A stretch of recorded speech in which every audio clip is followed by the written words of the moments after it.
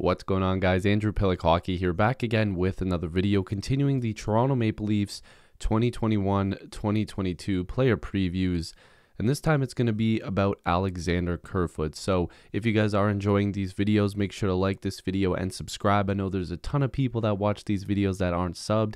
Tons of rumors, news, and previews coming on this channel. I'm sure to be posting every single day. Uh, it's not just the player previews, lots of other stuff is coming. I have a lot of stuff lined up. So I'd really appreciate that. Thank you to the new subs and to the people that have been here since day one.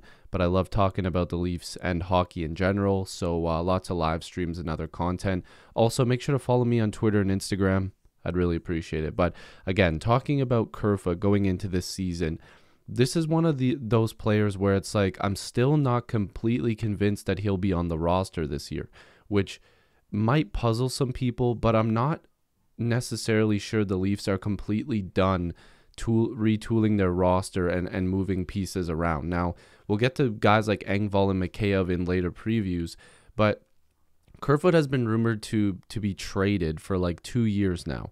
And it's kind of unfortunate because when he came over here, I was really excited. I lost my favorite player in Nazem Kadri, but getting a defenseman and a good player back, I thought, okay, this actually makes sense uh, for Toronto.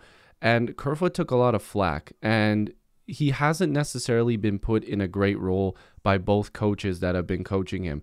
Babcock and Keefe seem to not know how to put him in the proper spot. And uh, that's no excuse uh, for him not, you know, fully performing up to what he, he could be. But Kerfoot's a really good two way player. And I think people ignore that. They just look at the points and they don't look at the fact that he is a really good two way player. He can play in a defensive role, he's really fast, he can kill penalties, but he's also really productive as a forward in the top six if you put him there. And that's the big question mark this year. Do you rely on guys like Michael Bunting and Nick Ritchie to be in that top six? Or do you slide Kerfoot beside Tavares and Nylander because he's produced with them? Um, so this is something that a lot of people also forget. Kerfoot's only 27 years old. I think a lot of people look at him and say, well, this guy, you know, he's past his prime. He's not good anymore. You know, the Leafs are paying him too much. He's 27, okay? The guy is not old, and he's getting paid $3.5 million. There's a lot worse contracts on this team, and I honestly do hope the Leafs hold on to him because if guys like Bunting or Ritchie or maybe a guy like Ho-Sang ends up making the team or anybody that, you know, potentially could have a spot in that top six, if they're not performing – you at least know that you have a guy like Kerfoot that can slide into there and produce. And honestly, the Leafs need to make that decision this year. Are you going to be playing him as a defensive minded third line centerman? Are you going to be playing him as a winger? What are you going to be doing? Do you want him to produce offensively or do you want him to be on a shutdown line? Because they got David Kampf, the centerman, to be a shutdown centerman. So where does that leave Kerfoot? Do you do you put Kampf on the fourth line? Do you put him and Kerfoot on the same line? Like just put Kerfoot as a winger?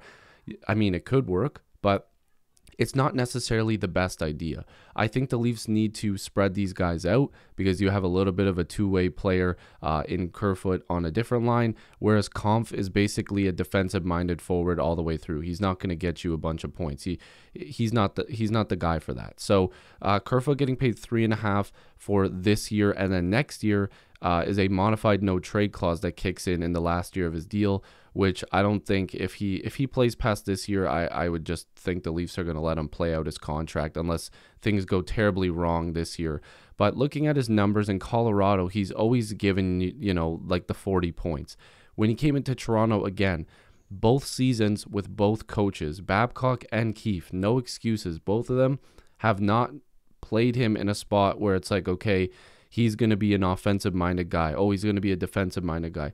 It's it's never one or the other. It's like they're just juggling him around the lineup consistently.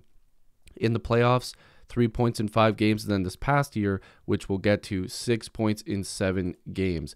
Which, uh, if you see in the regular season, he was kind of far down the list. He he didn't have the best regular season, but when it comes into the playoffs, he really stepped it up. That Nylander, Kerfoot, and Galchenyuk line was producing he was a major contributor to this team during the playoffs. I mean, the guy was two points off from being the leading scorer on this playoff team, which, again, Kerfoot did his job. The Leafs needed secondary scoring. They got it from Kerfoot, they got it from Spezza, and they got it from Galchenyuk. The and Nylander, who is supposed to put up points, gave you over a point per game. Guys like Matthews and Marner, and of course Johnny T being injured, so you can't really count him. But you know, you didn't get a big point total from Morgan Rielly, who's supposed to be that offensive-minded defenseman. The Leafs got what they needed from Kerfoot. The Leafs finally got a secondary scoring option and a secondary scoring line with Kerfoot, Galchenyuk, and Nylander, and they didn't capitalize. That's why this past uh, playoffs was really hard to watch as a fan because you finally get what you've been wanting. You finally get that second line that can produce and just absolutely torch a team. And then that first line's not producing. You're not getting any point totals from the back end. You got three points in seven games from Morgan Rielly. You got three and six from Muzzin, which is decent. But Kerfoot's a guy that I think the Leafs are going to need this year. I think they're really going to have to rely on him coming back and playing a good role in either role that he's going to be given. I really am just praying they don't bounce him back and forth on the second line, the third line. Oh, let's try him on the fourth line. Let's do this, this, this, and this. If that's what you're going to do, you need to really really think about if you're if you're paying him that much money and it's worth keeping him there. You don't bounce a guy around the lineup that can give you a really good role in either position that he's going to be in. Don't make him suffer on multiple occasions in different places by putting him in, in spots that he might not be comfortable in. You can't just expect this guy to switch his mindset every other shift. It's not fair to a player like that that's why I don't agree all the time with line shuffling. If you're going to uh, try a line out, don't do it for like a period or two or a game or two. You need to give them like five games to try to connect.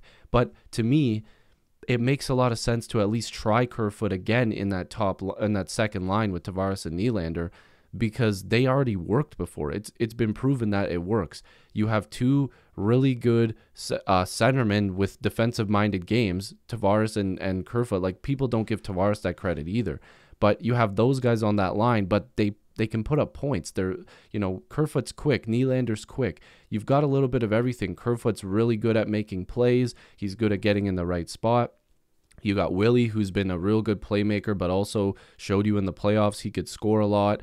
Uh, Tavares, obviously, former 40 goal scorer.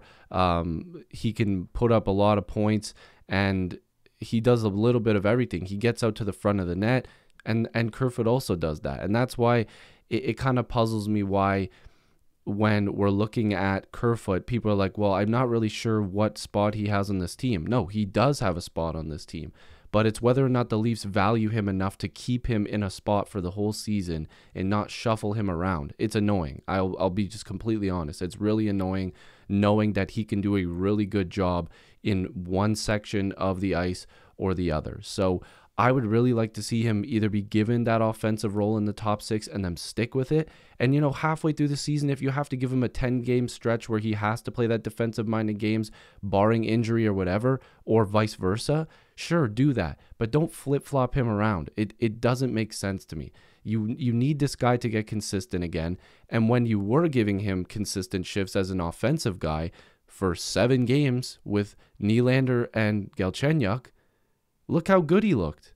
He was producing, and that's what they need. So hopefully you guys get what I was saying here. I really wanted to drive that point home. I like Kerfoot. I think he's a fantastic hockey player. I think he does a lot of everything, and uh, he does it well. So if you guys are new here, make sure to like this video and subscribe. Tons of videos coming. Uh, I love and appreciate you guys as always. Shout out to Kerfoot for doing his thing on this team, and hopefully he can continue to be um, that you know offensive producing guy or defensive minded player come this season. Peace.